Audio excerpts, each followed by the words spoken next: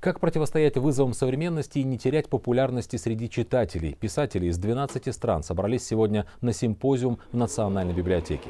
Авторы из Беларуси, России, Китая, Армении и европейских стран обменяются опытом, чтобы найти решение общих в литературном мире проблем. Одна из них – повсеместное снижение тиража печатных книг. Читатели все чаще отказываются от них в пользу электронных устройств.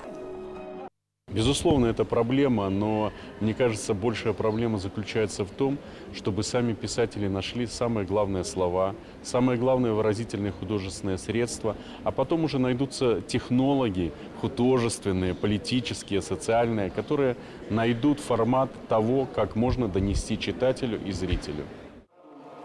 Диалог литераторы продолжат, но уже на новой площадке. Завтра в Минске откроется большая книжная выставка.